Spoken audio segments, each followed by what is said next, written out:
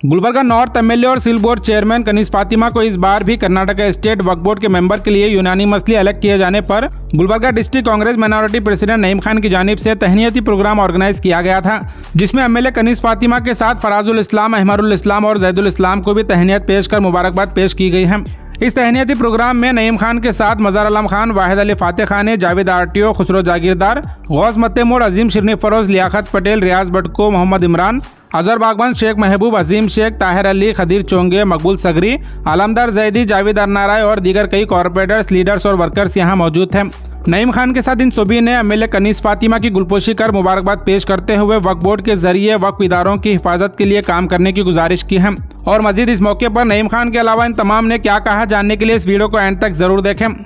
आज मोहतरमा Kaneez Fatima M L north silk board chairman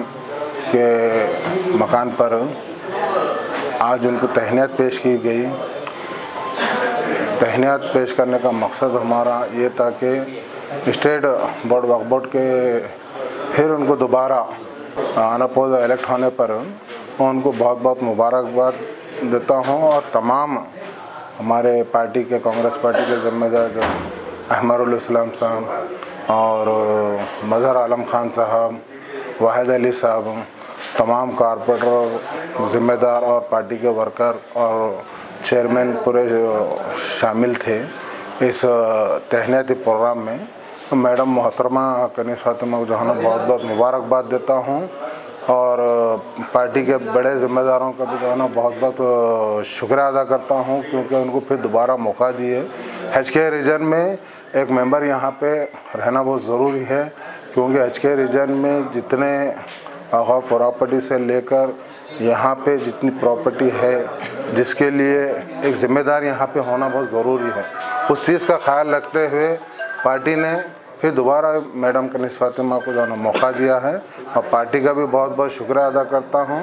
और मैडम को और फराज इस्लाम साहब को बहुत बहुत मुबारकबाद देता हूँ। इस मौके पर आ, मैडम कनीस फातिमा को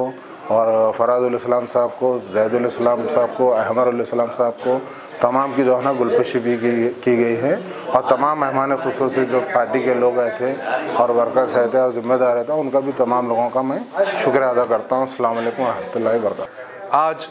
सिल्क बोर्ड चेयरमैन नौ तमेले मैडम कनीस फातिमा जी के घर पर फिर से एक बार unanimously Karnataka state board of Auqaf के मेंबर चुने गए हैं। इस मौके पे तमाम उनके चाहने वाले जनाब Gulbarga district minority president Naeem Khan के बुलाने पर सब लोग मैडम के घर पर आए और MLA madam Kaneez Fatima ji, future के एमएलए साहब फराजुल इस्लाम साहब की और किंग मेकर जैदुल इस्लाम साहब की गुलकोशी की गई। मैं इस मौके पे मैं एमएलए मैडम कनीस फातिमा जी को दिल की अमीक गहराइयों से मुबारकबाद पेश करता हूँ और ये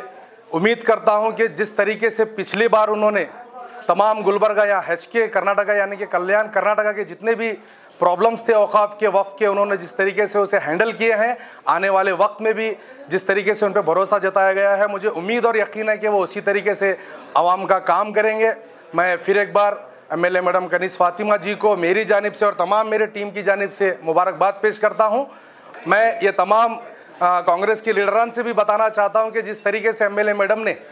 एमपी इलेक्शन में जिस तरीके से काम किया है, आप सभी बखूबी जानते हैं। वही वजह है कि फिर से उन्हें Karnataka state board board of Waqf का मेंबर बनाया गया। उसी तरीके से कांग्रेस पार्टी को जिस तरीके से वो मज़बूत करते हैं और उसी तरीके से मज़बूत करेंगे। मैडम कनीस फातिमा जी के घर पे माइनॉरिटी कमेटी के चेयरमैन नाइम खान साहब, जो अपनी टीम के साथ दोस्तों और अहबाब के साथ, तमाम कारपोरेटर के साथ चेयरमैन के साथ मैडम जी का जो अनअपोज उनको वक्फ बोर्ड का मेंबर बनाया गया। उनके कामों को देखते हुए, उनकी सीनियरिटी को देखते हुए, आज मैडम कनीस फातिमा जी के घर पे तमाम लोग, तमाम कारपोरेटर्स कारपोरेटर्स के दोस्त अहबाब चेयरमैन सीनियर कारपोरेटर पार्टी के तमाम सीनियर लोग मिलकर आज मैडम के घर पे मैडम को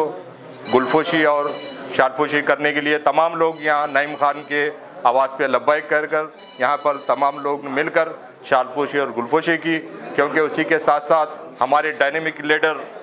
जो आज की आवाज़ है, नौजवान, नौजवानों के दिल की धड़कन है। नेक्स्ट होने वाले एम साहब, हमारे फराजुल इस्लाम साहब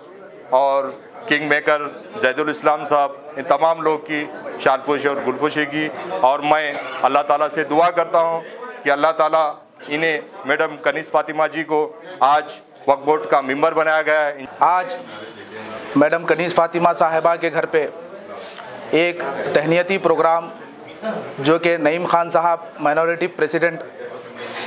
की तरफ़ से रखा गया था, जिसमें तमाम कॉरपोरेटर्स और डिफीटेड कॉरपोरेटर्स और पार्टी वर्कर्स मौजूद थे। मैं, मोहतरमा कनीस फातिमा साहिबा और फराजुल इस्लाम साहब को मैं दिल की अमीर गहराइयों से मैं मुबारकबाद पेश करता हूँ, जो कि वक्फ बोर्ड मेंबर नॉमिनेट हुए हैं। मैं अल्लाह ताला से दुआ करता हूँ कि अल्लाह ताला इनको और कौम का और काम लेने की अल्लाह ताला इनको तौफीक दे और मैं दिल की अमीर गहराइयों से जैदुल इस्लाम साहब का भी मैं मुबारकबाद पेश करता हूँ। सब सबसे पहले तो अल्लाह का शुक्र अदा करता हूँ। अल्लाह ने फिर एक बार मोहतरमा कनीस फातिमा जी को दोबारा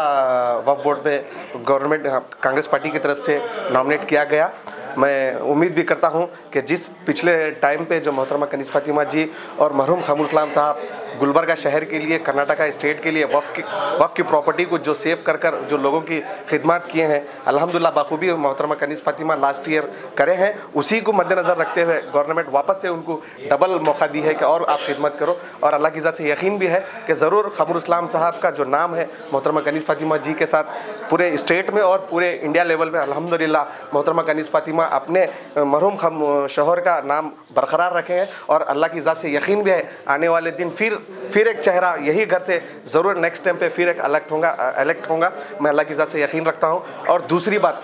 मैं आप लोगों के माध्यम से ये और एक बार मैसेज देना चाहता हूँ कि मोहतरमा कनीस फतिमा जब से इलेक्ट हुए हैं, पूरे शहर में एक खुशी का माहौल बना हुआ है। और अंजुम भी सह में जाते हैं कि टूटा हुआ तारा कहीं माह कामिल ना बन जाए। आज जनाब नईम खान साहब डिस्ट्रिक्ट माइनॉरिटी चेयरमैन की तरफ़ से एक गुलाह अकीदत, एक तहनीत मैडम कनीस फातिमा जी को पेश की गई। माशाल्लाह, वाकई जो है ना, एक शानदार तहनीत थी। क्योंकि हुकूमत कर्नाटका ने बोर्ड ऑफ़ वक्त का फिर एक बार मेंबर मंतखब किया है मैडम कनीस फातिमा जी को। क्योंकि आप देख रहे हैं कि जिस तरह मैडम की तरफ़ से काम हो रहे हैं, गुलबर्गा में डेवलपमेंट में के और जो वक्त के बोर्ड के भी जो काम हुए हैं, उसको देखते हुए हुकूमत ने फिर एक बार उनको बोर्ड ऑफ़ वक्फ का मेंबर मुंतखब किया गया है।